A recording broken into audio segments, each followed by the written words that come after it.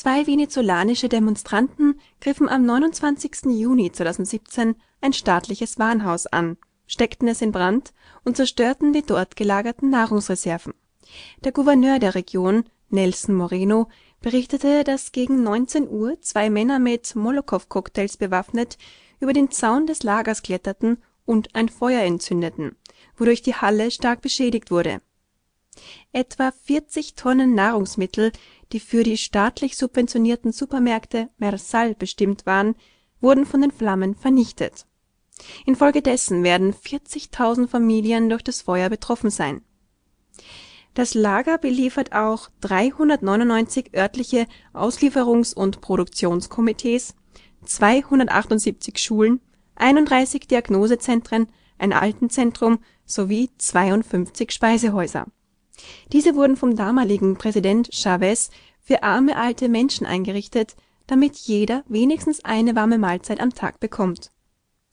Beamte aus Regierungskreisen meinten die Zerstörung des Lagerhauses sei ein strategischer Schachzug der Opposition, um die Unzufriedenheit im Volk aufgrund von Versorgungsengpässen weiter zu schüren und so den Regierungswechsel zu beschleunigen. In unserer Sendung Vogel friss oder stirb – die eiserne Hand der US-Finanzoligarchie am Beispiel Venezuelas zeigten wir den Wirtschaftskrieg der US-Administration gegen Venezuela und die US-Unterstützung der Regierungsopposition auf. Nun haben es doch tatsächlich zwei Demonstranten dieser US-bezahlten Opposition übers Herz gebracht, zur Durchsetzung von Machtinteressen 40.000 Familien, dazu Schulen, Speisehäuser usw. durch ihren Feueranschlag auf die Nahrungsreserven aufs massivste zu schädigen dies ist bei weitem nicht das einzige Beispiel, wie auf Kosten der notleidenden Bevölkerung Machtinteressen ausgespielt werden. Hier ein weiteres. In der Ukraine blockierte im Frühjahr dieses Jahres der paramilitärische rechte Sektor Eisenbahnlinien in den Osten des Landes. Diese Blockade führte zu massiven Engpässen bei Kohlekraftwerken, die von der ukrainischen Regierung betrieben werden, und bei der Stahlverhüttung wir berichteten darüber in unserer Sendung Ukraine-Krise – die komplette Verdrehung des Rebellenbegriffs. Die Folgen waren gravierende Engpässe in der Stromversorgung sowie ein krasser Einbruch in der Stahlproduktion. Die einst florierende, nun aber stark angeschlagene ukrainische Wirtschaft kam noch tiefer zum Erliegen. Diese kleine Minderheit mit Namen Rechter Sektor bringt es übers Herz eine ganze Nation so massiv zu schädigen. Bereits im Jahr 2014 hatte der rechte Sektor im Zuge der blutigen Maidan-Unruhen mit anderen US-gesteuerten ukrainischen Oppositionellen durch einen Putsch die legitime Regierung gewaltsam gestürzt. Daraufhin wurde eine US-hörige Regierung eingesetzt. Kurz und gut, immer wieder lassen sich Minderheiten oder zur Regierung in Opposition stehende Gruppierungen dazu verleiten, ihre ideologischen oder materiellen Eigeninteressen über die Interessen der Gesamtheit zu stellen. Dabei werden ganze Volksgruppen massiv geschädigt. Genau diese menschliche Neigung, die es fertigbringt, anderen Menschen in massivster Weise zu schaden, wird von den globalen Strippenziehern für ihre eigene Agenda missbraucht Sie unterstützen Minderheiten und oppositionelle Gruppen finanziell und auf andere Weise, aber letztlich nur, um die eigene Vorherrschaft voranzutreiben. Doch zunehmend durchschauen Menschen aus den unterschiedlichsten Völkern dieses niederträchtige Spiel. Sie geben sich nicht mehr dafür her, anderen Menschen auf Kosten der Gesamtheit zu schaden. Ganz im Gegenteil begegnen sie sich mit Wertschätzung und einem starken Zusammengehörigkeitsbewusstsein ich liebe dich und ich brauche dich, sagen sie einander und demonstrieren damit eine weitaus höhere Lebensqualität. Einige Kostproben dazu sehen Sie in unserer Sendung Die Völker spielen nicht mehr mit bei Teile und Herrsche, die wir nun im Anschluss noch einmal zeigen. Die Bestrebungen seitens der Geheimdienste, Regierungen und Machtspitzen auf eine weltumspannende Konfrontation sind je länger, desto offensichtlicher. Dieses Prinzip des Gegeneinander Aufhetzens und der Schaffung immer neuer Feindbilder hat unendlich viel Krieg, Zerstörung und Blutvergießen hervorgebracht. Zunehmend beginnt von der Basis der Völker her ein ganz anderer Wind zu wehen. Gleich einem Frühling, der die Knospen der Bäume aufgehen lässt, gibt es ganz neue Anzeichen, dass die Völker gewillt sind, die jahrtausendealte Taktik des Teile und Herrsche zu beenden. Gleich einem Zeichen des Himmels brachte der aufkommende, weltumspannende Frühling am letzten Maiwochenende dieses Jahres zeitgleich drei beachtliche und ermutigende Knospen hervor. Am 27. Mai versammelten sich in der Schweiz zum Tag der internationalen Freundschaft über 3000 Menschen, an dem sich Vertreter äußerster Gegensätze ihre Liebe und Wertschätzung bekundeten. Christen mit Moslems und Juden, Amerikaner und Russen, Russen und Ukrainer, Türken und Kurden, Schwarz und Weiß, alt und jung und viele mehr. Bande jahrzehntelanger Feindschaft wurden durchbrochen und zerstrittene Religionen und Nationen erkannten im Gegenüber ihre gegenseitige Ergänzung. Der ganze Tag wurde simultan in zehn Sprachen übersetzt und live in die ganze Welt übertragen. Genau am gleichen Tag demonstrierten tausende Israelis in Tel Aviv für eine friedliche Lösung des Konfliktes mit den Palästinensern. Die Kundgebung war maßgeblich von der israelischen Organisation Frieden jetzt organisiert worden, welche den jüdischen Siedlungsbau in Palästinensergebieten kritisiert. Die Demonstration richte sich gegen die Hoffnungslosigkeit, die uns eine Regierung beschert, die Besatzung, Gewalt und Rassismus fortführt, sagte der Chef von Frieden jetzt, Avi Buskilla.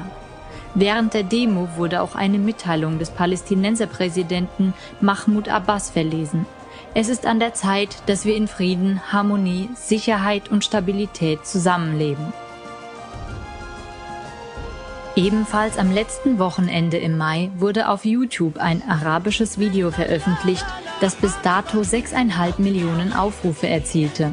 In diesem Musikclip stellt sich das muslimische Volk einem Selbstmordattentäter mit Sprengstoffgürtel entgegen und appelliert an ihn, Du, der du kommst im Namen des Todes, er, Gott, ist der Schöpfer des Lebens.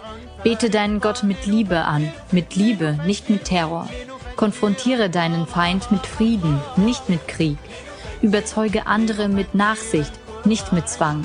Lasst uns Gewalt mit Gnade bombardieren. Lasst uns Täuschung mit der Wahrheit bombardieren. Lasst uns Hass mit Liebe bombardieren. Wenn derartige Dinge auf der ganzen Welt in Bewegung kommen, erkennt man himmlische Kräfte, die über alle Grenzen hinweg ein neues Bewusstsein der Einheit und Versöhnung in den Menschen bewirken. Ein und dasselbe geschieht gleichzeitig bei Christen, Juden und Moslems. Schöpfen Sie selber Mut und Kraft aus dem nachfolgenden Zusammenschnitt des Tages der internationalen Freundschaft und dem bewegenden arabischen Musikvideo. Teilen Sie die Links mit Menschen auf der ganzen Welt. Die Zeit ist jetzt dass die Macht der Liebe den Hass überwindet und die Menschen erkennen, dass sie sich gegenseitig brauchen.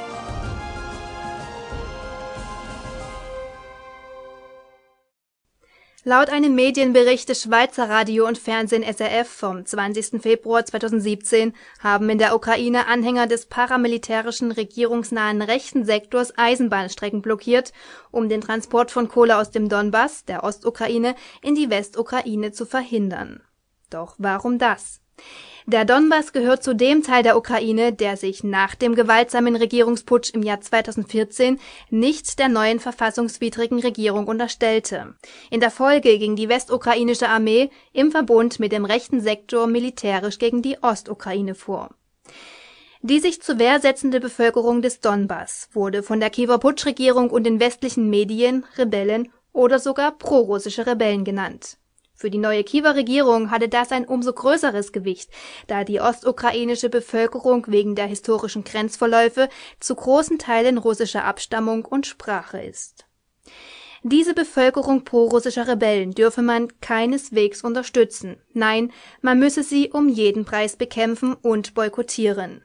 Dieses sich ständig wiederholende Negativbild der prorussischen Rebellen im Donbass wurde dann durch die Medien auch in Köpfe der westlichen Welt eingemeißelt Doch hält diese Sichtweise einer genaueren Überprüfung stand? Laut dem deutschen Duden ist ein Rebell jemand, der sich an einer Rebellion beteiligt. Ein Aufständischer, das meint jemand, der aufbegehrt, der sich widersetzt. Diese Definition passt tatsächlich mehrheitlich auf die Bevölkerung der Ostukraine. Denn die Menschen des Donbass widersetzen sich der Putschregierung, die die Macht in der Ukraine im Jahr 2014 gewaltsam und unrechtmäßig an sich gerissen hat. Und während der Rest der Ukraine aufgrund der Maidan-Unruhen traumatisiert, durch die Medien desinformiert und durch das Gegeneinander Aufhetzen gespalten war, entschied sich die Mehrheit der Ostukrainer in freien Wahlen dafür, die unabhängigen Volksrepubliken Donetsk und Lugansk zu bilden. Denn ihnen blieb ganz augenscheinlich die US-amerikanische Handschrift hinter den Maidan-Unruhen nicht verborgen. Diese Unruhen waren langfristig von der US-Botschaft in Kiew vorbereitet und von der US-Administration unterstützt und finanziert wurden, wie Klagemauer TV in mehreren Sendungen berichtete. Das ukrainische Volk war zwar seinerzeit unzufrieden mit der damaligen Regierung, aber genau diesen Umstand nutzten die damaligen US-gesteuerten ukrainischen Oppositionellen für sich. Durch einen Putsch wurde die legitime Regierung gewaltsam gestürzt und eine US-hörige Regierung gebildet und das inmitten und zulasten eines Volkes, das ursprünglich mehrheitlich russlandfreundlich, also prorussisch war. Somit kann bei der Mehrheit der ostukrainischen Bevölkerung nicht von Rebellen im klassischen Sinne gesprochen werden, sondern von einer Opposition, die an einer juristisch-politischen Geradlinigkeit festhält. Wenn nun diese Oppositionellen trotzdem als prorussische Rebellen beschimpft, beschämt und sanktioniert werden, dann ist dies im Grunde genommen nicht korrekt. Denn es sind ja Aufständische gegen die proamerikanischen Verfassungsbrecher und Volksverräter. Die Begriffsverdrehung geht bei genauerem Hinsehen aber noch tiefer.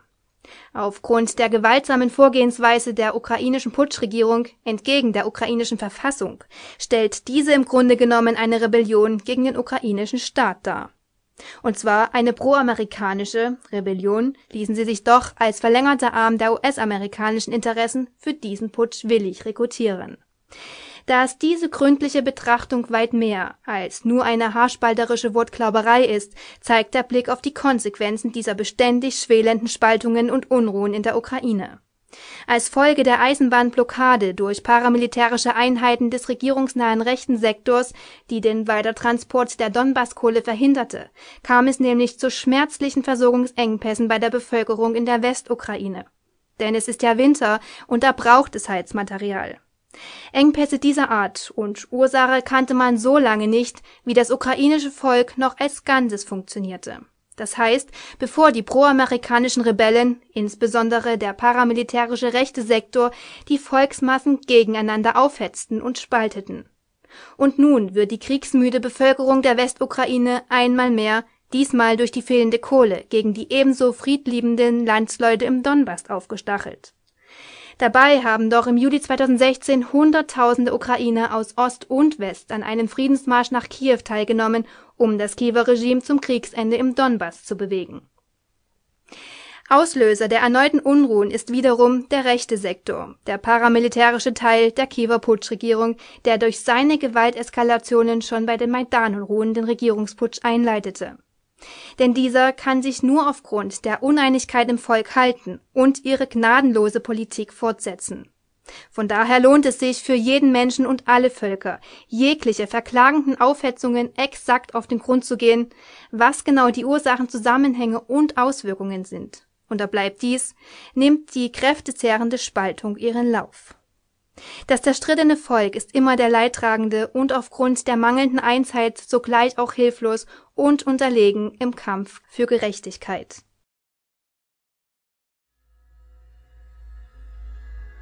Demokratiemissionare als Todesengel.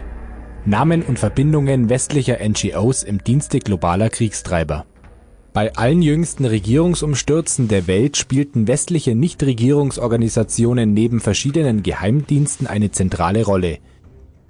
Von Serbien über den Irak, Georgien, die Länder des sogenannten Arabischen Frühlings bis zuletzt in die Ukraine destabilisieren sie als Missionswerke für Demokratie ihre heimgesuchten Länder ganz gezielt Nichtregierungsorganisationen, zu Englisch Non-Governmental Organizations oder kurz NGOs, sind private Organisationen, die nicht im Auftrag einer Regierung handeln. Zahlreiche westliche Demokratie-Missionswerke coachten in den letzten Jahren im NGO-Gewand die Regierungsgegner unliebsamer Länder, finanzierten Revolutionäre in angeblichen Diktaturen, zettelten Massenaufstände an und ebneten damit den Weg für Kriege, Verwüstung und Tod. Europa bekommt dieses Leid aktuell in Gestalt einer dramatischen Flüchtlingswelle zu spüren. Nichtregierungsorganisationen, wir nennen sie von nun an nur noch NGOs, sind nicht ungefährlicher, nur weil offiziell keine Regierung hinter ihnen steckt. Im Gegenteil, die mächtigsten NGOs der Welt agieren in der Machthierarchie sogar deutlich über einzelnen Regierungen. Mit ihnen sind dann weitere Netzwerke von einflussreichen NGOs verfilzt. Diese schmücken sich jeweils gerne damit, völlig regierungsunabhängig und privat tätig zu sein, zum Beispiel als edle Hilfswerke für eine sogenannte offene Zivilgesellschaft in rückständigen Ländern. Doch genau da liegt das Problem. Die mächtigsten Kriegstreiber auf Erden sind längst nicht mehr Staaten und Regierungen, sondern diejenigen privaten Gruppen, die diese Staaten und Regierungen an der Leine führen. Moment, mag man da jetzt denken. In einer Demokratie ist das Volk doch immer der oberste Souverän und über den gewählten Regierungen gibt es keine zusätzlichen Instanzen mehr. Doch das ist ein Irrtum. Die Macht auf Erden wurde in Wirklichkeit längst privatisiert. So zumindest drücken es die renommierten Soziologieprofessoren Hans-Jürgen Grosmanski und George William Domhoff aus. Sie beweisen mit aufwendigen Studien, dass in den USA eine Elite der Hochfinanz real existiert, die in Wirklichkeit über der gewählten demokratischen Regierung agiert.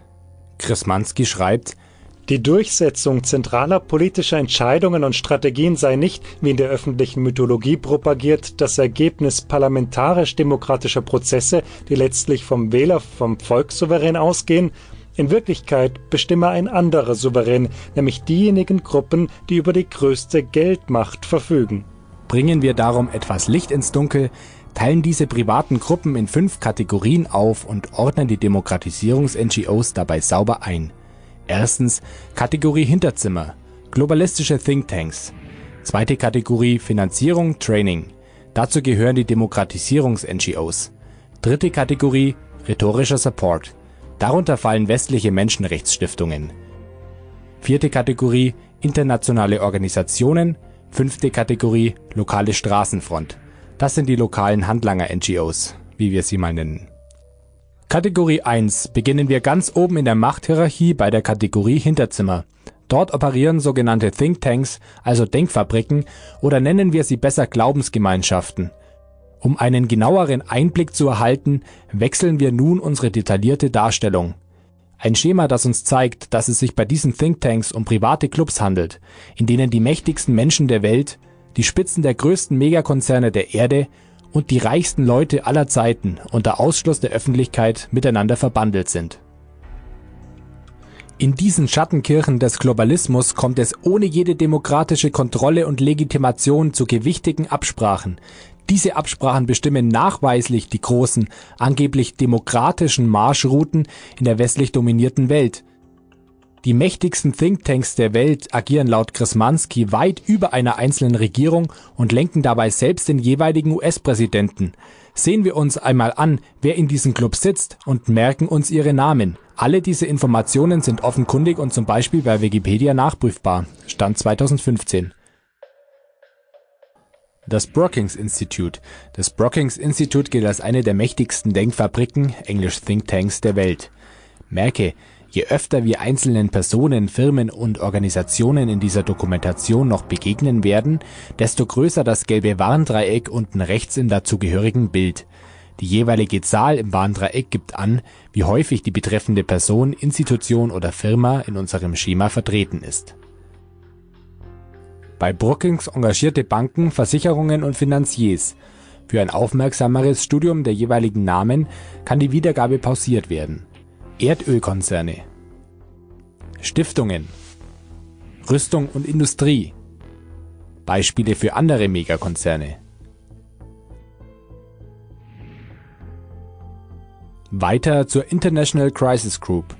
Die ICG gilt als der hauptsächliche Ansprechpartner für westliche Regierungen und internationale Organisationen wie die Vereinten Nationen, die EU und die Weltbank, wenn es um Kriegsfragen geht. Bemerkenswerte Vorstände. Man beachte wieder die gelben Warndreiecke. Bemerkenswerte Supporter. Wichtige Berater. Dann das Council on Foreign Relations, eine Elitegruppe mit 4500 Mitgliedern, gegründet 1921 in New York von den jüdischen Bankiers Paul Warburg, Otto Hermann Kahn und Freunden. Publiziert die Zeitschrift Foreign Affairs, welche von der Washington Post als Bibel des außenpolitischen Denkens bezeichnet wird. Big Money, vertreten im Council on Foreign Relations. Big Oil, Kommunikationsriesen, Pharmagiganten, Rüstungs- und Industriegroßkonzerne, Medienkonglomerate, Lobbyisten und PR-Giganten, Konsumindustrie. Eine kleine Auswahl prominenter Mitglieder David Rockefeller, George Soros, Mitt Romney, John McCain, George Herbert Walker Bush, Bill Clinton, Hillary Clinton, Jimmy Carter, Al Gore, Henry Kissinger, Zbigniew Brzezinski, der erste Chef aller 17 US-amerikanischen Geheimdienste zusammen, John Negroponte, die Präsidentin der Fed, Janet Yellen, der Chef von Goldman Sachs, Lyotzi Blankfein, ABC News Präsident Benjamin Sherwood, der Gründer und CEO von News Corp und Fox News, Rupert Murdoch, der Präsident des Jüdischen Weltkongresses, Ronald Lauder, der elfte Präsident der Weltbank, Robert Zoellick, der Präsident von Time Warner, Jeffrey Berkes, oberste US-Richter wie John Roberts, Ruth Bader Ginsburg, Stephen Breyer, höchste Generäle und Geheimdienstchefs der USA wie Stanley A. McChrystal, David Petraeus, John R. Allen, der Filmproduzent Lawrence Bender, die Filmstars Angelina Jolie und George Clooney. Auch US-Präsidentschaftskandidaten, die sich im Wahlkampf als Rivalen inszenieren, weisen oft beide Verbindungen zum CFR auf, wie etwa Barack Obama und Mitt Romney. Um zu verstehen, welche Machtfülle das CFR besitzt, muss man wissen, dass sowohl die Ideen als auch die Entwürfe für die Projekte UNO, NATO, Weltbank, IWF und Marshallplan direkt in den Hinterzimmern dieser Glaubensgemeinschaft entstanden, was man in jedem guten Lexikon auch nachprüfen kann. Egal wie neutral und global sich diese internationalen Organisationen also gerne darstellen mögen, sie sind in Wirklichkeit nichts anderes als Ausgeburten der Mächtigen von Kategorie 1.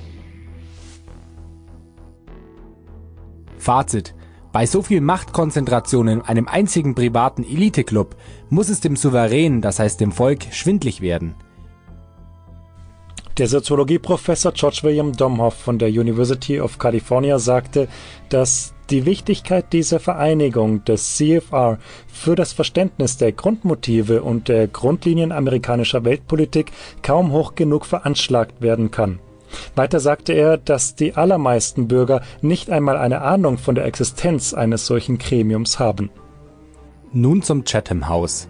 Das Chatham House ist die britische Partnersekte des amerikanischen CFR und zählt 75 Großkonzerne und 2770 Einzelpersonen als Mitglieder.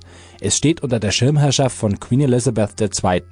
Seine wichtigsten Schlüsselprojekte werden von der Rockefeller Stiftung, der Bill Melinda Gates Foundation, der Konrad-Adenauer Stiftung, der NATO oder der EU finanziert und gesponsert. Die vom Chatham House publizierten Zeitschriften International Affairs und The World Today zählen zu den führenden Fachorganen der internationalen Politik. Big Money und Big Oil. Medien. Konsumindustrie. Stiftungen. Kommunikationsriesen Übrige Industriezweige Pharmagiganten das Chatham House glänzt nicht durch Transparenz. Die sogenannte Chatham House Rule, eine Verschwiegenheitsklausel, die auch auf den untergeordneten Bilderberger Konferenzen und beim vorhin genannten Council on Foreign Relations gilt, besagt, dass die Teilnehmer keine Namen und Identitäten zu internen Absprachen nennen dürfen. Zusammenfassend für Kategorie 1 wollen wir nochmal den emeritierten Professor für Soziologie an der Uni Münster, Hans-Jürgen Grosmanski, zu Wort kommen lassen – diese Policy Discussion Groups, Thinktanks, stellen die machtpolitischen Kerne des Einflusssystems der Geld- und Machteliten dar. Letztendlich sei auf diese Weise sichergestellt, dass nur Regelungen und Gesetze der ursprünglichen Auftraggeber realisiert werden Mächtige Thinktanks bestimmen also die großen Leitlinien der westlichen Politik und ihre Filialen in Deutschland, wie zum Beispiel die Atlantikbrücke, Dort sind Leute wie Angela Merkel, Joachim Gauck, der ZDF-Moderator Klaus Weber und so weiter angedockt. Oder die Deutsche Gesellschaft für Auswärtige Politik setzen diese Vorgaben von oben dann willig und in vorauseilendem Gehorsam um. Doch gibt es eben Länder, die bei diesem Spiel nicht ganz so willig mitmachen, wie es Deutschland so vorbildlich tut. Diesen Ländern wird dann, wenn nötig, etwas blutige Nachhilfe in Sachen Demokratie gegeben. Dies wird dann aber von den angeblich wohltätigen NGOs der Kategorie 2 Finanzierung und Training eingefädelt. Kategorie 2. Wir beginnen mit dem Beispiel der Open Society Foundations.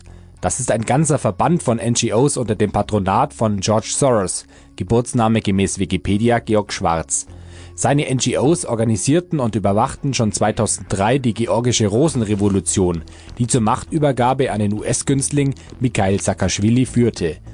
Die Orangene Revolution 2004 in der Ukraine wurde ebenfalls durch Soros-Stiftungen finanziert Schon 2011 warnte der russische TV-Sender RT davor, dass Soros einen bevorstehenden Putsch in der Ukraine finanziere und ein libysches Szenario vorbereitet habe, was 2014 mit dem Euromaidan auch eintraf. Seine Stiftungen bereiten den Boden für kommende Unruhen in verschiedenen Ländern auf alle erdenklichen Arten und Weisen vor. Als Beispiel kam kürzlich ans Licht, dass die mazedonischen Studenten 1500 Dollar für Umsturzvorschläge bezahlten Soros finanziert auch das NED mit, womit wir gerade bei der nächsten Stiftung der Kategorie 2 Finanzierung und Training wären. Das National Endowment for Democracy NED das NED fördert über 1000 Projekte mit sogenannten demokratischen Zielen in über 90 Ländern. Bei praktisch jedem Regierungsumsturz der jüngsten Zeit findet man seine Handschrift die Führungsriege des NED ist gespickt mit Mitgliedern des CFR und Vertretern der Megakonzerne, die auch in den anderen großen Thinktanks sitzen. Der NED-Gründer Alan Weinstein sagte es offen heraus. Eine Menge von dem, was wir heute tun, wurde vor 25 Jahren von der CIA verdeckt getan. Selbst die New York Times musste in einem Randartikel einräumen, dass das NED den arabischen Frühling maßgeblich orchestrierte. Movements.org das ist eine auf Jugendkrawalle spezialisierte Demokratisierungs-NGO, die zum Beispiel die ägyptische Jugendbewegung des 6. April von einer kleinen unwichtigen Facebook-Gruppe zu der führenden Bewegung der ägyptischen Revolution im Jahr 2011 aufbaute.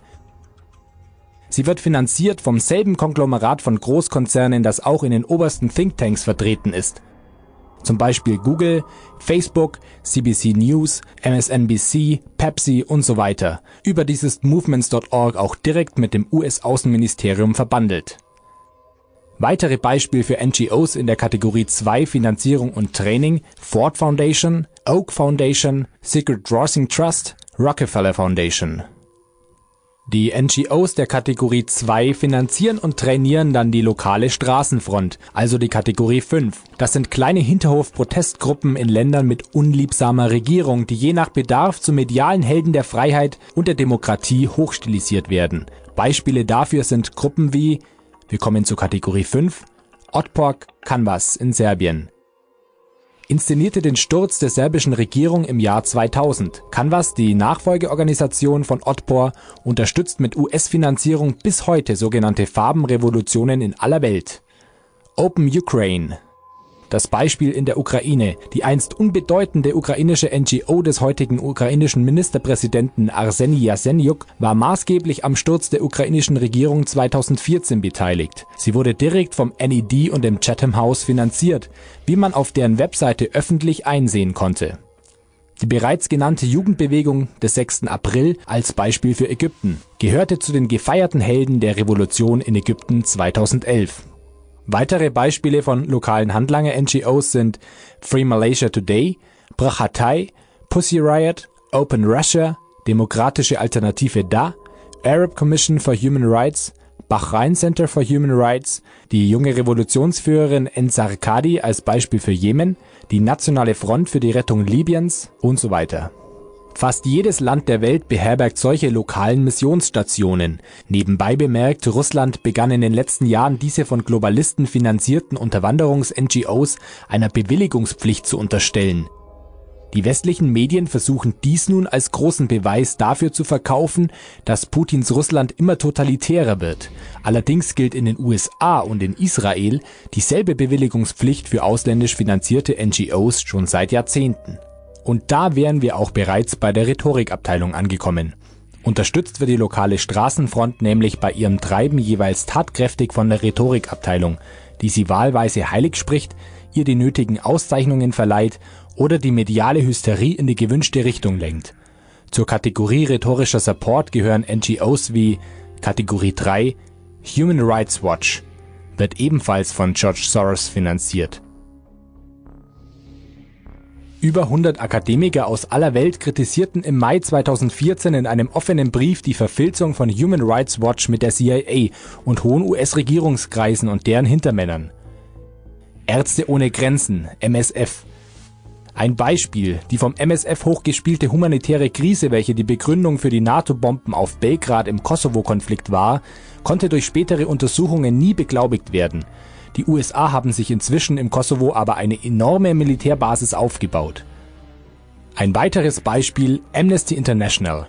Hier die Verbindung von Amnesty zum Beispiel zum Chatham House. Ein früheres Vorstandsmitglied von Amnesty USA, Professor Francis Boyle, warnt davor, dass Amnesty International und Amnesty USA imperialistische Werkzeuge seien. Beispielsweise veröffentlichte Amnesty International im Dezember 1990 die sogenannte Brutkastenlüge, die den ersten Irakkrieg legitimierte. Dann Reporter ohne Grenzen. Wird auch vom NED, Soros und so weiter finanziert die Auswahl der in Sachen Pressefreiheit angebrangerten Länder orientiert sich eigentlich stets eins zu eins an der schwarzen Liste des US-Außenministeriums. Die USA selber und ihre Verbündeten müssen aber keine fundamentale Kritik befürchten. So zum Beispiel wurde die Tötung von 16 Mitarbeitern der jugoslawischen Fernsehstation RTS durch einen NATO-Luftangriff im April 1999 im Jahresbericht der Reporter ohne Grenzen nicht einmal erwähnt dann ein Beispiel für eine Organisation, die ihren eigenen Schöpfern die benötigten Auszeichnungen verleiht, die IWMF. Das ist die Internationale Frauenmedienstiftung, ein Club, der unter dem Vorwand, mutige Journalistinnen auszuzeichnen, Volksverhetzung in unliebsamen Ländern finanziert und fördert. Hier leisten wir uns abschließend noch einmal einen genaueren Blick auf die beteiligten Firmen und Organisationen, denn wir kennen sie bereits. Fazit die Frage, wie viel Regierung hinter einer NGO steckt, scheint angesichts dieser immer gleichen privaten Namen geradezu belanglos zu werden. Die Frage, wie viel private Macht hinter einer Regierung steckt, ist heute die eigentlich zentrale geworden.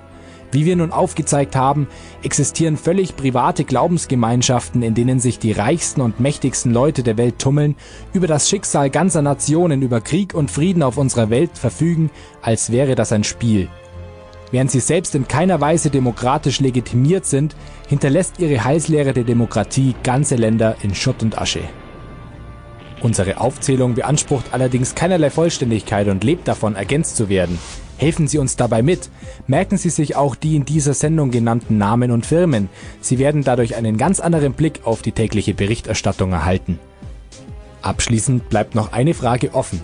Welche Personen geben bei fragwürdigen Hinterzimmer-Thinktanks wie dem Brookings Institute, der International Crisis Group, dem Council on Foreign Relations oder dem Chatham House intern wirklich den Ton an? Denn jede Kirche hat ihr Oberhaupt und jede Sekte ihren Boss. Die Welt hat ein Recht darauf, ihre exakten Namen durch solide Quellen belegt zu erfahren. Insider- und Aussteigerberichte sind hierzu gefragt. Melden Sie sich bei uns.